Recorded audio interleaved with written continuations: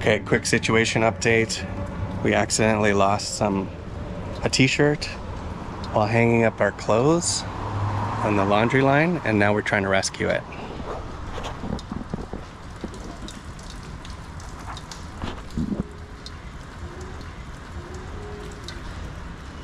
Nice and slow. we did it.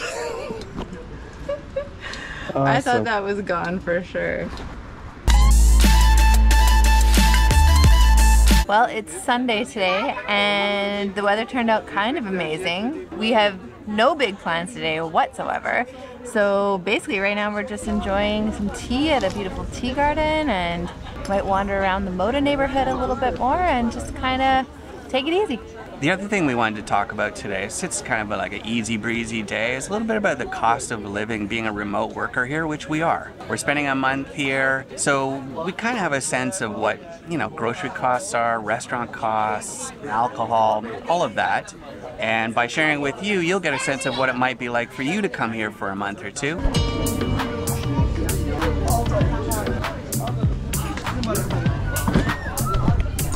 Ladies couldn't get us out of there fast enough. By the way, we're Michael and Lindsay, and if you're interested in living the part-time nomad lifestyle like we do, make sure you hit that subscribe button. Moda, we found, has a little bit more green space, it feels like. So it's kind of got these like park-like settings and like wider boulevards where people can wander down. And so, guys, just like got a easy breezy kind of feel for strolling around and walking. And there's a lot of cool shops and restaurants and beautiful buildings down here. So just keep wandering past more and more restaurants where I'm like, maybe we should go there or maybe we should go there. So I don't know, it's really cool. It's a very inviting neighborhood. So um, yeah, I'm really happy that we're down here today. Anyway, yeah, they had a uh, place had a cocktail drawing of cocktail on their sign, and so it beckoned to me. Well, it's like you know, late afternoon, absolutely, the weekend. It's kind of the perfect time.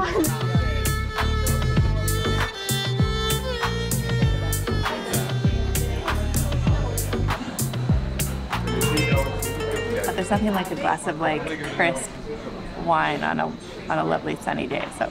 Okay, I think it's time we talk about alcohol here in Istanbul.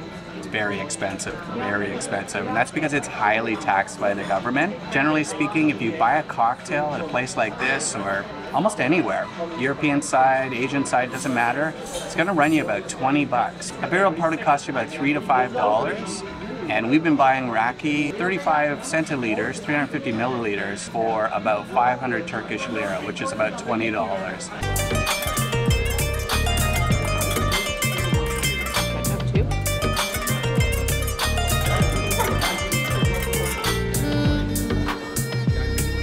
Very tasty falafel.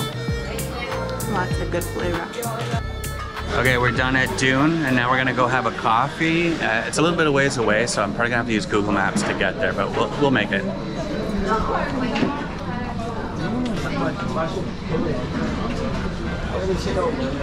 Food this evening slash afternoon was 870 Turkish lira.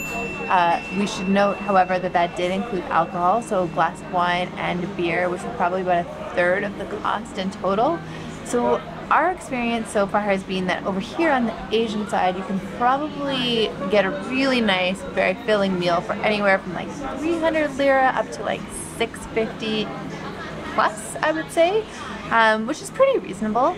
If you head over to the European side of the city where it's a little bit more tourist heavy, costs are definitely going to be a little bit higher. They could be as much as double. Um, thank you hot beverages, um, if you're having like chai, so like a really traditional tea is about 35 or 40 lira, so it's quite inexpensive. If you have Turkish coffee, it's a little bit more, but not too much. Uh, but if you start talking about more like a traditional flat white, cappuccinos, anything more like that, um, you're looking about four or five Canadian dollars. So restaurants are one thing, but what about the cost of groceries? We're finding that shopping here is pretty comparable to the cost of things in Canada. Some things are more expensive, some things are a lot cheaper. We'll share a few examples with you.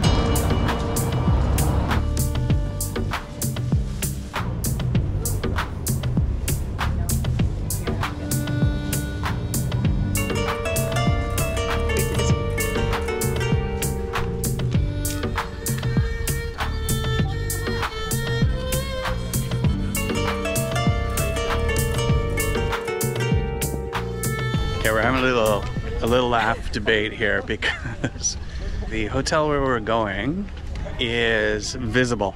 We can actually see it. It's not too far away. But we're thinking of taking a tram. So that we can take the tram. Yeah, so we can enjoy the tram. But it might literally be one stop. Don't judge us. We missed it.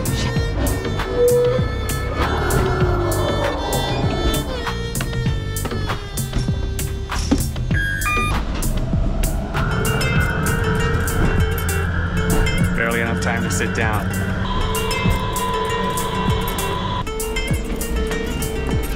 All right, here's our here's where we're going. I'm gonna go up there somewhere.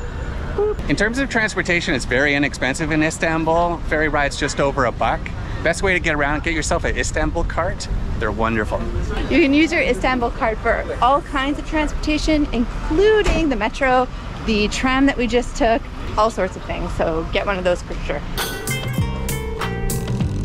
Not surprisingly, when it comes to accommodations, there are many options and many variables, like the time of year you're here, what area you're staying in, how long you're staying in the city. But overall, we noticed that accommodations in Istanbul are quite reasonable. Our Airbnb apartment here in Kadıköy costs about $50 per night.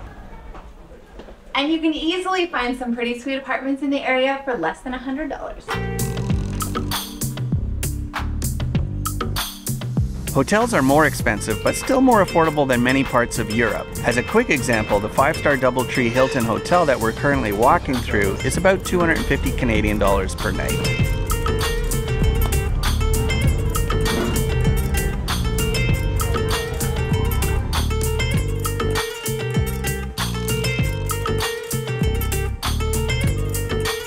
I mentioned cocktails earlier. Did I mention cocktails earlier? Was it me? Uh, It was me, right? I mentioned cocktails earlier. These ones are very expensive.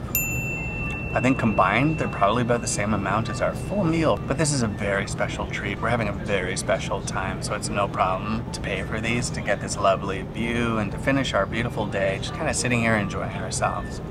So yeah, another great day in Istanbul.